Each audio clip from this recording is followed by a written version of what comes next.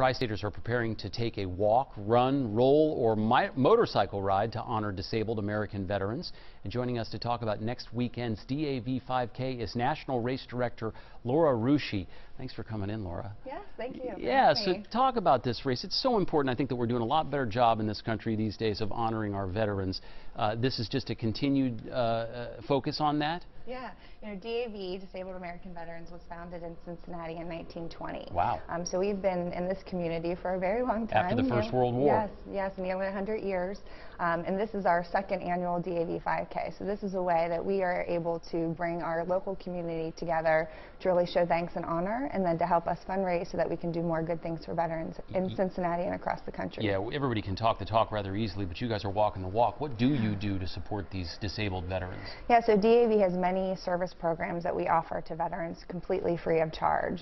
Um, the primary way that we do serve veterans um, is through their help with VA medical benefits. Um, so when veterans transition... You help them with the paperwork? Yeah, help them with the paperwork and just help them understand what they're um, eligible to receive. It's a very confusing process. It can mm -hmm. be mm-hmm. pretty complicated I can only navigate. imagine how pleased they are with that assistance. We're looking at a little video from uh, one of the previous year's runs. What are we going to see that's interesting and different at this year's?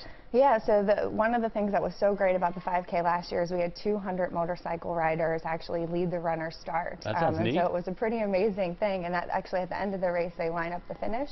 Um, and we're cheering everybody on um, to kind of go across the finish line. So we'll, we're hoping to have that strong support this year. Um, and then we also have um, a way for people to honor the, their loved ones who serve. We do honor bibs. So you can write in the name of the person um, who you're there to, to walk and support or to run and participate in the race. You know, it's always occurred to me that it's just a, a tough row to hoe when you go to defend your country and you, you are disabled and you have to live the rest of your life that way. You know, but I know that a lot of these people that are involved in this situation have incredible spirits and have incredible outlooks. What do you experience in, in speaking with them and being around them. Yeah, you know, and last year, just through the DAV 5K lens, we had a, a woman who was walking in support of her husband that she lost um, just the previous May before wow. he was killed in action.